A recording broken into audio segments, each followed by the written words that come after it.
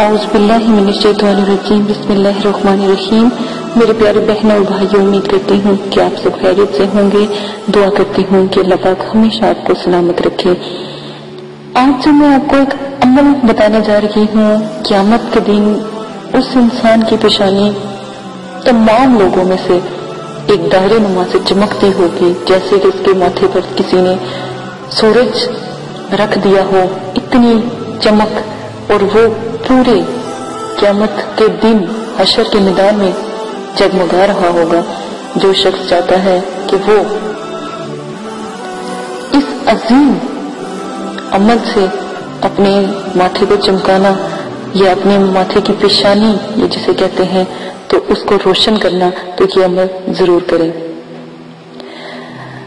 گیارہ بار صرف آپ نے یا نور، گیارہ بار یا نور یا نور یا نور، پڑھ کر اپنی شہادت کی انگلی کے اوپر دم کرنا ہے اور اپنی پیشانی پر مل دینا ہے۔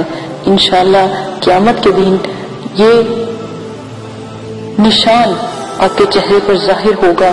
اور ایک بات یاد رکھیں، دنیا میں اگر آپ یہ عمل کرتے ہو تو اس کا فیض یہ ہوگا کہ جو آپ کے چہرے مبارک کی طرف دیکھے گا تو وہ آپ کا، آپ سے خود بخود دوستی کرنا چاہے گا، چاہت رکھے گا اور مسخر ہوگا۔ یعنی کہ بہت سے لوگ ایسے ہوتے ہیں جن کے چہرے اتنے مومن، اتنے خوبصورت بزرگان دین جیسے چہرے ہوتے ہیں، تو فوراً ان کے چہروں سے ہی لوگ مسخر ہوتے ہیں۔ یعنی کہ ان سے تعلق قائم کرنا ان کو اچھا لگتا ہے، ان کے دیوانے ہوتے ہیں۔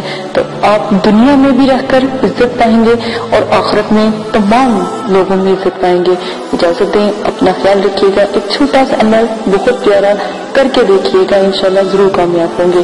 اسی کے ساتھ دعا چاہتی ہوں آپ سے بھی، اور آپ کے لیے دعا ہے کہ آپ کو اللہ پاک پانچ وقت کا نمازی بنا دے۔ آپ نماز پڑھنا شروع کرو، دل خود بخود ہی نماز میں